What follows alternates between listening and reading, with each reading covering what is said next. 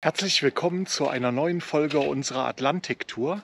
Wir verlassen heute unseren Zwischenstopp nahe der portugiesischen Grenze und machen uns auf auf den Weg nach Sevilla. Herzlich willkommen zu dieser Reportage.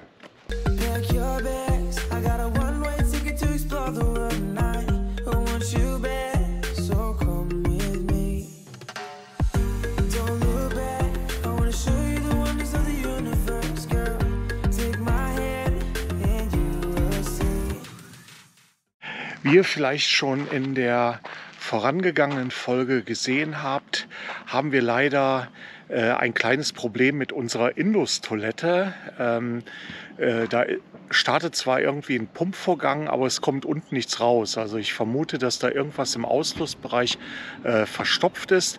Wir machen uns heute, es ist Sonntag, auf dem Weg Richtung Sevilla, um dann morgen früh bei einer Tedford-Vertretung, ist eine der äh, mehreren äh, Tedford-Vertretungen in Spanien, aufzuschlagen, um mal das Problem analysieren zu können.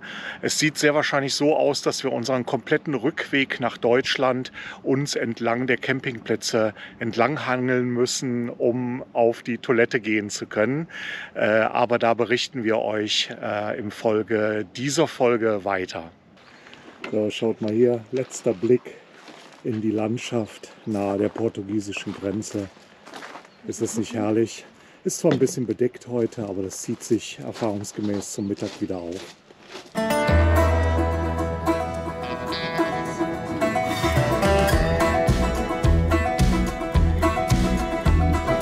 So, wir haben einen kleinen Zwischenstopp eingelegt bei einer Tankstelle.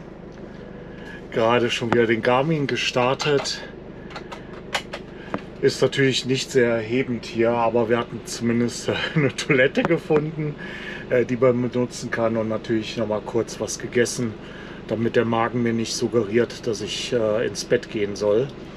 Also jetzt machen wir uns weiter auf den Weg nach Sevilla, beziehungsweise wir fahren auf einen Stellplatz südlich von äh, Sevilla, äh, weil wir dort dann auch relativ in der Nähe sind zu der Werkstatt, zu der wir morgen früh dann hinwollen.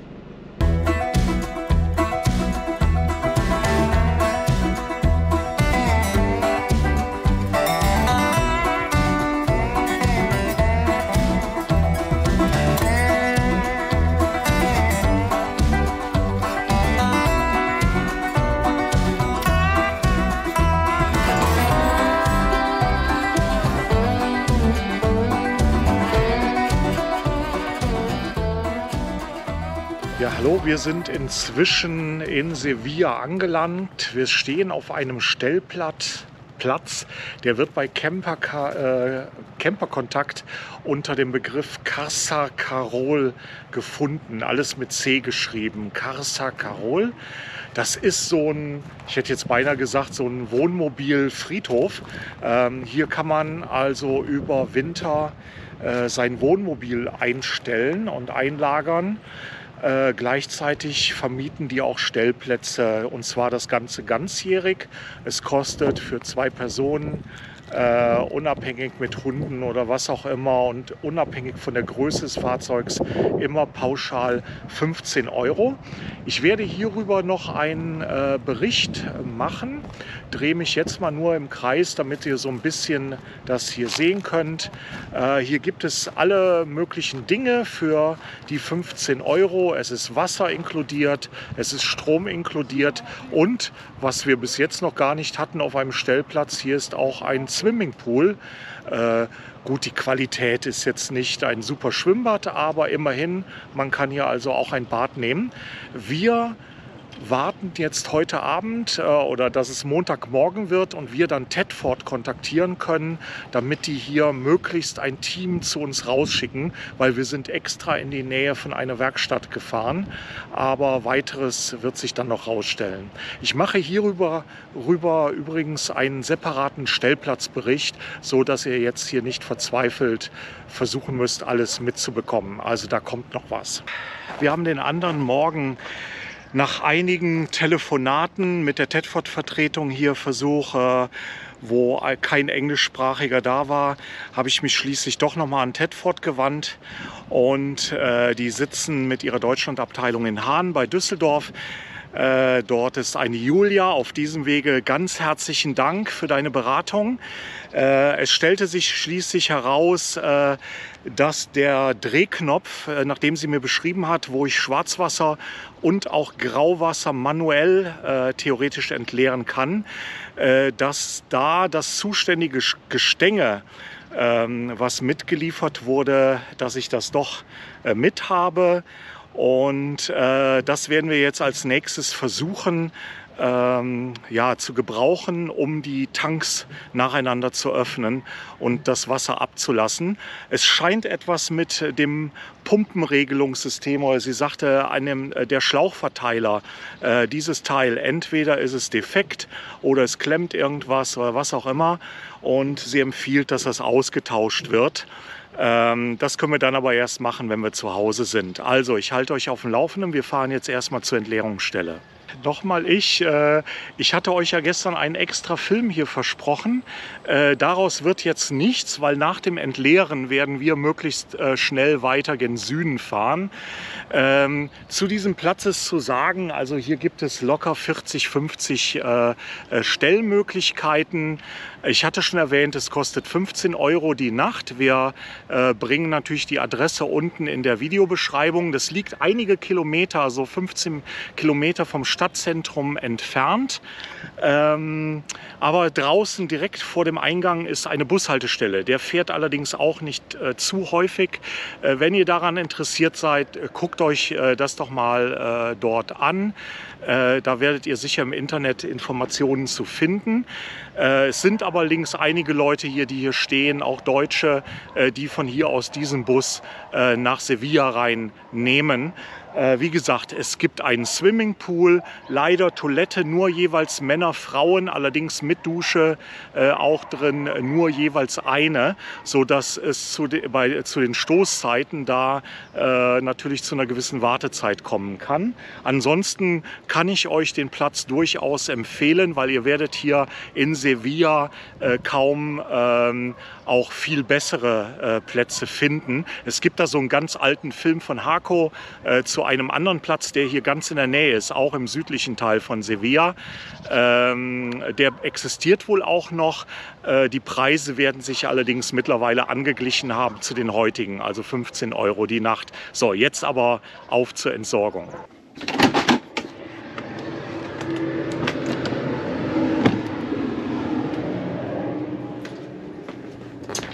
So, ich zeige euch hier auch mal die Bodenklappe. Die man entfernen muss. Und jetzt steht man hier vor den Abwassertanks. Und ähm, ich habe jetzt hier in diesem Fall äh, benutze ich so eine schwarze Stange, die gibt es auch in blau. Und da muss ich ganz da unten an diesem blauen ähm, Rad dann drehen. Ich mache das jetzt mal einfach, mache aber die Kamera dabei aus. Jetzt wird es ein bisschen unappetitlich. Das ist zunächst das sogenannte Schwarzwasser. Und da werde ich dann nachher das Grauwasser dann hinterher schicken. Also das funktioniert. Bitte entschuldigt die Unappetitlichkeit. Ich hoffe, wir schneiden da nur eine ganz kurze Sequenz rein. So, und jetzt kommt das Graue hinterher.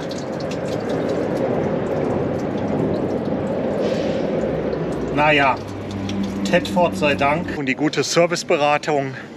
Also das klappt soweit. Ich habe auch gehört, in Deutschland, da schicken die teilweise auch zum Reparieren Teams sogar raus zu dem Standpunkt, wo man steht. Das will ich jetzt natürlich nicht beschreien, aber bis jetzt 1A für Tedford.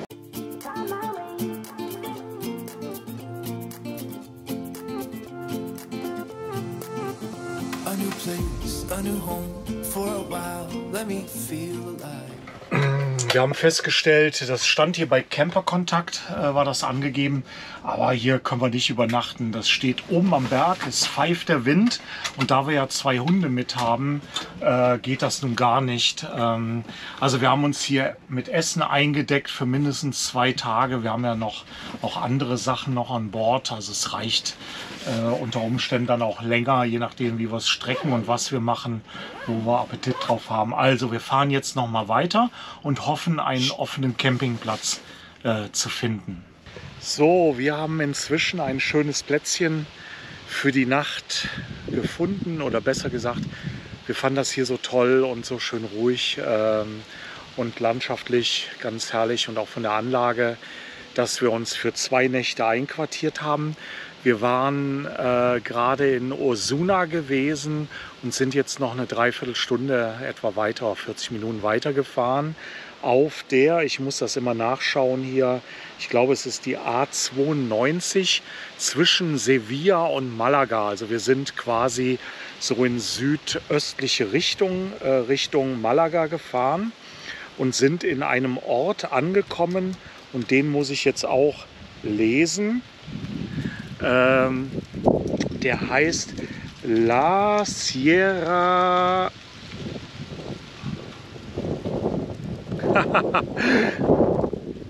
so, wir sind jetzt in einem äh, Ort angekommen und den muss, ich muss den ablesen. La Sierra. Äh, wie immer äh, findet ihr alles unten in der äh, Videobeschreibung. Ich äh, schwenke mal hier so ein bisschen rum. Da seht ihr die Einfahrt hinter mir und auch äh, die Rezeption. Und eben habt ihr sicher im Hintergrund schon gesehen, hier gibt es eine ganz tolle Poolanlage. Leider, wir haben jetzt äh, Mitte Oktober, nach Saison äh, ist die Poolanlage geschlossen. Es gibt hier ein Restaurant auf dem Platz, das ist auch jetzt geschlossen. Dafür konnten wir äh, die Axicard benutzen und für 18 Euro ähm, hier pro Nacht stehen, inklusive Strom, Wasser, alles was man will.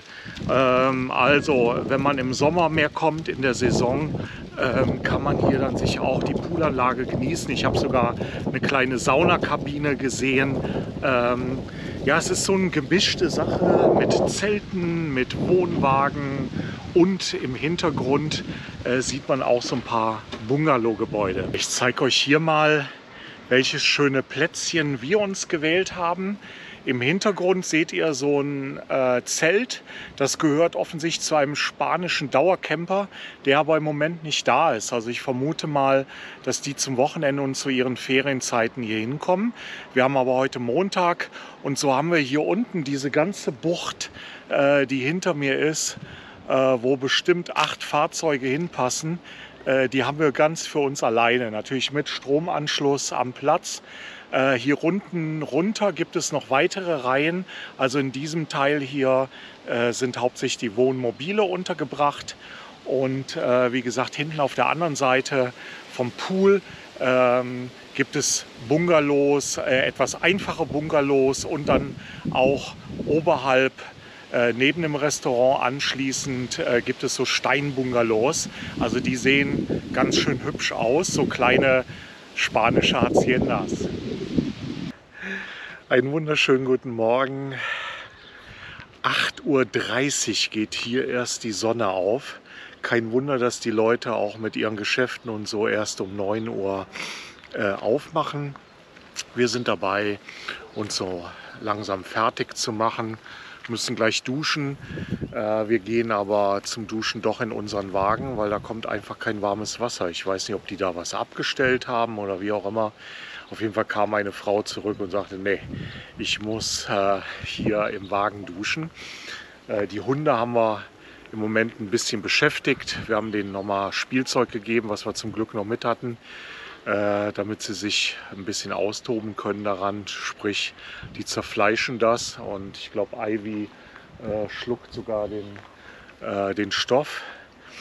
Äh, wir wollen uns jetzt gleich mal hier auf den Weg machen, weil hier in der Nähe äh, gibt es einen interessanten Naturpfad oder es ist so eine Biosphäre ähm, wo die speziellen Baumbepflanzungen hier aus der Gegend sind.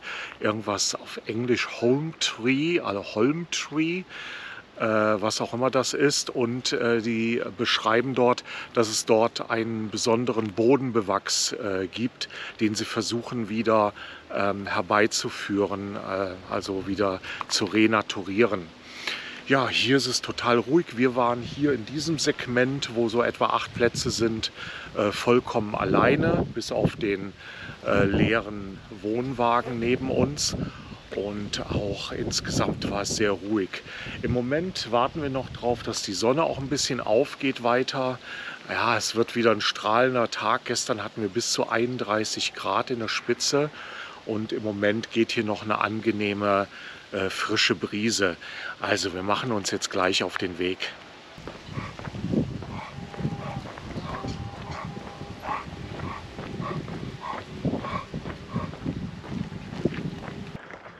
Das Gebiet, in das wir hier reingehen, heißt die, heißt die Sierra de Humiadero. Ich muss es ablesen. Das ist gleichzeitig der Stadtname Humiadero und La Sierra.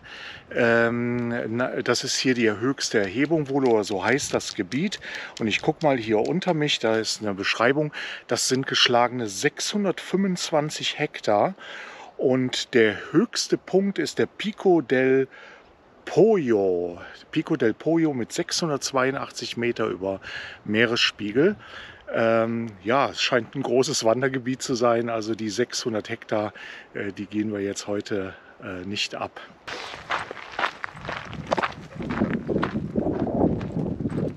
Wie schon die Chinesen sagen, wo es den Berg hoch geht, da geht es auch den Berg runter.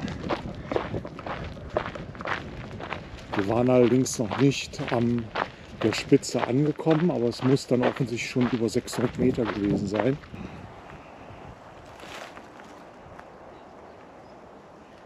Ja, wir haben von hier oben einen wunderschönen Ausblick auf eine Olivenplantage.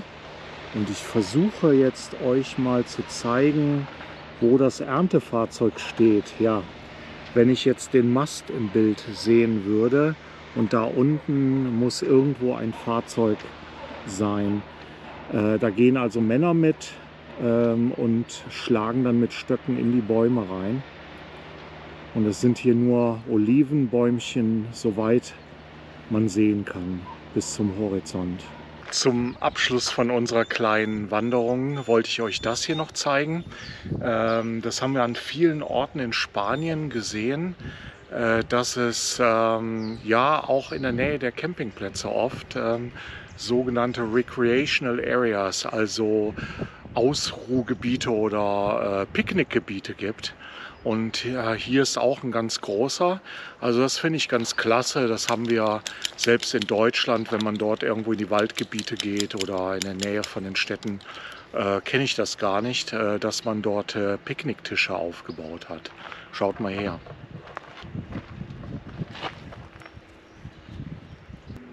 Ja, nach dieser schönen Wanderung werden wir jetzt den Rest des Tages chillen. Oh, ich sehe gerade, unsere Hunde sind schon im Chill-Modus. Ja. Und äh, ja, ich selber muss ein bisschen Körperpflege betreiben, zwei Tage nicht rasiert. Gut, das wird euch jetzt kaum interessieren. Ich danke euch für euer Zuschauen, unser Mitfahren während dieser Tour, die immer noch unsere Atlantik-Tour ist, aber wir sind auf der Rückfahrt, auf einer etwas erweiterten Rückfahrt zurück nach Hause. Ähm, morgen fahren wir Richtung Mittelmeer runter, aber da beginnt bereits eine neue Folge und wir würden uns freuen, wenn ihr zuschaut. Denkt an die Ad Abonnements, an den Thumbs Up und lasst ruhig ein paar Kommentare da. Wir antworten gerne und sagen Servus, bye bye, bis zum nächsten Mal hier bei Ermittler TV.